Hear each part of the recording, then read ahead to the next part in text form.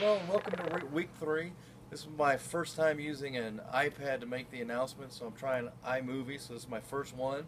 So uh, be on the lookout for a lot of mistakes and things done poorly.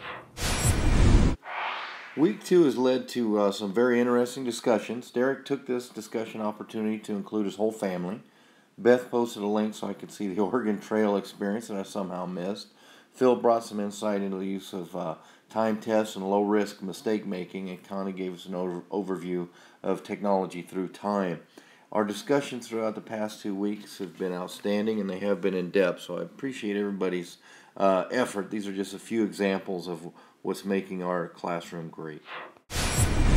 The results of our poll are in. 45% have voted for TV, while desktop top computers come in a close second at 36% of the vote. 75% thought of us that the initial learning experience was meaningful, and I personally uh, believe that it's important to look back and think of our first experience with technology and learning because we can see changes, but most importantly, remember how we felt during these learning experiences, whether they happened to be meaningful or not. Our week three focus is on the uh, Seven Things to Know project. There's no discussion this week, so this is a great opportunity for you to take some time and showcase your skills. I've been impressed with the different topics that everyone has chosen, so it's been uh, very interesting for me personally just to go through and see the topics. So in this project, remember you're not limited to text. Part of the assignment that gives you this ability is for creative expression as professionally formatted requirement. The uh, examples in our assignments area under examples are well done. They use color and they use a column formats, so they're they're built to create impact. And that's what I want want us to think about from this point forward with the products that you're making. As you go through the questions in the process of creating your final document, take a moment to think how you will impact the receiver of the information.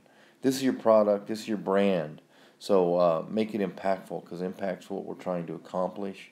And if we can uh, accomplish our goal of impact, we can create change and deeper learning. So, uh, how can you document create the impact? First, make it visually appealing.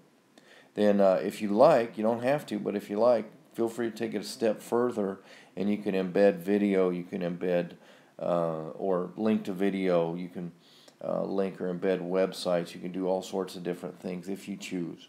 So, I'm not saying that you have to do this, but my thoughts are just, uh, my comments are just put out there to hopefully provoke you to uh, think deeper on how you want to create impact with uh, the documents that you create.